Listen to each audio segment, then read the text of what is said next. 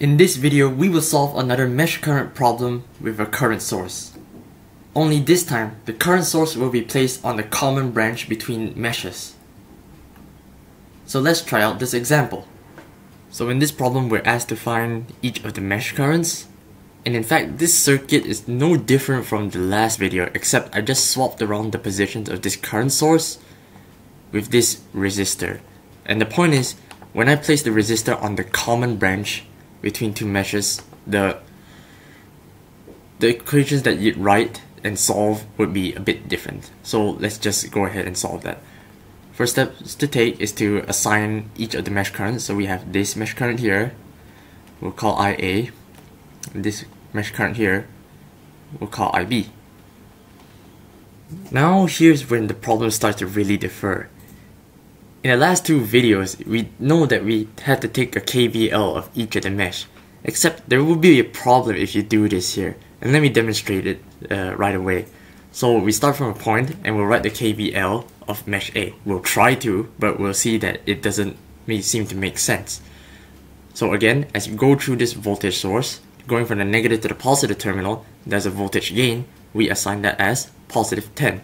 So positive 10 then going through this resistor, the resistor's voltage change will be delta V equals to I, I, I times R. So resistors are a voltage drop, that will be negative, negative IA multiplied by its resistance, 5 ohms. And after that, you'd encounter this current source. Now remember, we are writing KVL equations here. And KVL, you had to sum up the voltage changes across each device. The problem is we don't know how to describe voltage changes uh, across current sources. You cannot use uh, delta V equals to IR. You do, they didn't even tell you what the R of the current source is. So the way to go around this to avoid current sources, so to speak, would be to use super meshes. Now here's how you define, how you identify the super mesh.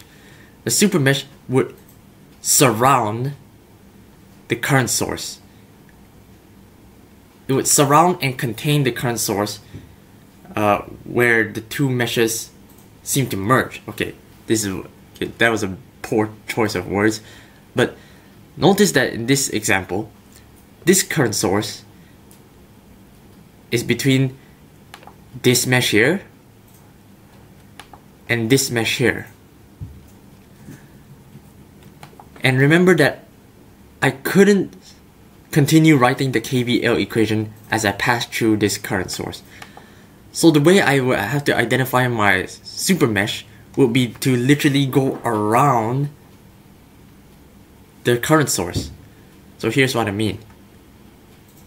The super mesh that I would consider would be this outer rectangle it literally surrounds the current source and I will have to write a KVL equation for this super mesh uh, that contains and kind of avoids the current source.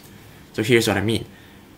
Our job is to, again, select the starting point and write a KVL equation for this super mesh.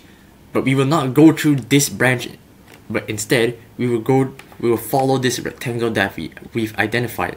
So super meshes will tend to avoid the current sources that we encounter. It's simply by taking by merging okay the two meshes together will be here, right? And you'd have the common branch here. What we do is we simply avoid the common branch. We take the whole exterior of the two meshes combined so let's just go ahead and do that. I'm going to keep the super mesh highlighted uh, so we can keep track of where we're supposed to go. Again, we select our starting point. I've, we can just use the same starting point. So instead of saying KVL of the super mesh, what I should really say is, oh sorry, instead of saying KVL of the mesh, I should write the KVL of the super mesh. We start from our red dot here, again, passing through the voltage source. It's a 10 volt gain, so it's positive 10, no change in that. And when we go through the resistor, the 5 ohm resistor up here, again it's a voltage drop so minus IA multiplied by 5. Now, again, we don't go through the current source branch because we don't know how to describe the voltage change associated with a current source. Instead, we follow the super mesh's path. And when we do that, we have to describe the voltage change across this 2 ohm resistor. Now what's the current through this uh, 2 ohm resistor? It will be IB, correct? Because IB goes through this mesh. So what we do is, again it's a voltage drop, so minus IB multiplied by 2 ohms. And as we go through here, again, it will be minus IB multiplied by 4 ohms. We go over here, and there's no devices. Again, following the super mesh, you go through here, no devices, and we reach our starting point. So, we finally ended the KVL equation. We can just equate this to 0. We're going to do some simplification. And we should get our first KVL equation. Now the second thing to write is to, again, use the idea that current sources determine the current of the branch that they are placed on. Now let's take a look at the current source that we have in our circuit here. In our circuit, notice that this branch that the current source is on, this branch, happens to have a 2 ampere current directed downwards as indicated by the arrow here. So what it's trying to tell us is that the net current in the branch is 2 ampere downwards. So how will we write this in an equation? Simply, we have to make use of IA and IB and relate it to this 2 ampere downwards here. Again, remember I said the net current downwards is 2 amperes. And what is the net current if I were to express that using IA and IB? IA, now follow this clockwise direction, as IA turns clockwise in its mesh, it passes through this branch in the downward direction. Okay, this will be IA. And if you follow IB in its clockwise direction, it will be going upwards through the common branch. So that means the net current will be their difference. And specifically, I'll take IA minus IB. Because IA moves downwards, IB moves upwards, so it opposes it. That's why we minus away IB to get the 2 ampere downwards. So this is our second equation. And in fact, we're done. We have our two equations and two unknowns. One equation here, the second equation here. Now we'll just box it up in our matrix format.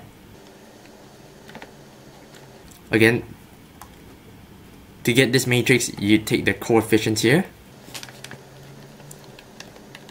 and you take the coefficients here. Here is positive 1, here is negative 1. This will be the matrix of your unknowns, namely IA and IB. And here will be your constant terms, which are negative 10 and 2. Negative 10 and 2 from here. And what I mean by punching into calculator, I don't think I made this uh, specifically clear in the last few videos. When I say to punch these into calculator, I meant to solve for this matrix, correct? So what we do is, we isolate IA and IB on the left hand side. You move the coefficient matrix to the right hand side, you should invert it. So because it's a multiplication, so that means if you move it to the right hand side, you have to invert it. And so I'm pretty sure calculators can indeed do inversion of matrix, matrices. So you should finally arrive at your answers. And I think the answer should be IA being 2 amperes and IB being 0 amperes. Uh, don't worry if it's 0 amperes, it just simply means there's no current passing through this mesh, but really it's possible. In the next video, we will learn how to reduce a complicated circuit into its Thevenin and Norton equivalent. See you there.